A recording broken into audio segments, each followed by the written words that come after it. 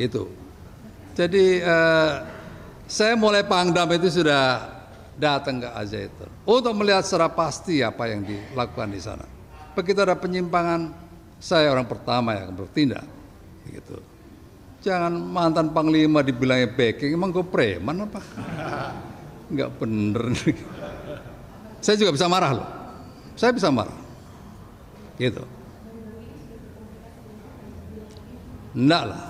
Ntar aku komunikasi sama Pak Jokowi bilang dibilang intervensi. Biar saja berjalan.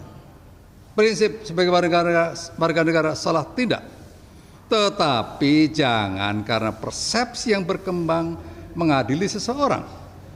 Itu yang saya ingin tekankan.